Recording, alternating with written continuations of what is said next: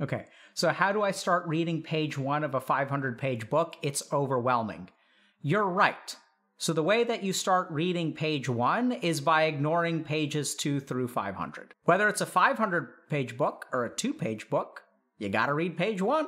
Doesn't matter. 500 pages, 200 pages, 1,000 pages. Like, you can't read, it doesn't matter. The action is the same. The overwhelming part comes from the goal. This is why we're telling y'all live in the present.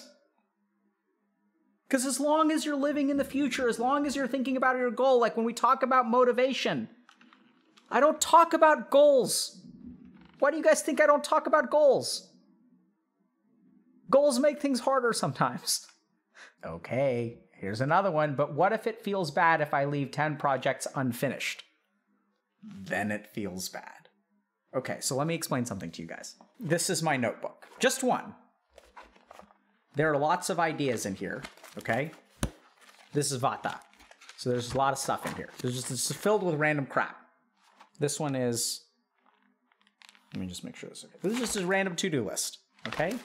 And on the next page, here's my education rant. So I this is something I want y'all to understand. So as being a Vata, nine out of my 10 projects are unfinished. So what? It's all good. One out of 10 is finished. Seems to be working so far. Just focus on finishing the good ones. This is where people say, but what about these other nine? And it's like, where do y'all think all this crap comes from? So I had like like I've had so many projects that are half complete and when the community needs something, I'm like halfway done. It's great. I have all these projects and they're halfway done. And I don't finish them until someone shows up and is like, "Hey, can you do this thing?" And that's like, "You know what? Actually, I can." So like like we earlier today we are joking about, you know, group coaching for authors who haven't finished books. But there there are notes in that about my notebook about the creative like burden right like we have notes like if we wanted to do that we could so this is the strength of a Vata is like you have 9 out of 10 projects that are incomplete. Sure great fine. Complete one and then be prepared for the other 9 because they could come in handy. It's crazy. Ideate. That's what vatas are good at. And the other thing is if it feels bad it feels bad. Like that's okay. Like, does it feel okay to finish one instead of zero? You can still feel good about that. Yeah, so just uh, start projects. I'd say finish some of them, you know? But like, Kapha will help you with that. Kapha helped me a ton. That was the big thing. Is like, now it's like, we've got stuff going on. okay. So you guys, you guys think you can outdo Dr. K. How about if you finish zero? So I'm trying to figure out how to say this every finished project that I have completed was unfinished at some point. Right? You guys get that? I know it sounds kind of weird, but like if you finish zero, you just haven't finished them yet. Right? Like you just haven't finished it yet. So like, so what? So I'll, I'll, I'll, I'll explain something. So like the the Dr. K's guide to meditation I started writing in 2005. I started writing in 2005 and it was unfinished for 16 years. And now it is done. So, like, was that bad that it was unfinished in a decade? In hindsight, absolutely not. I am so glad that I worked on that crap for a decade and then left it in a drawer because when someone sits down and, and asks me in four weeks to write two two or three feature length films about meditation that ends up being 65,000 words, it's ready.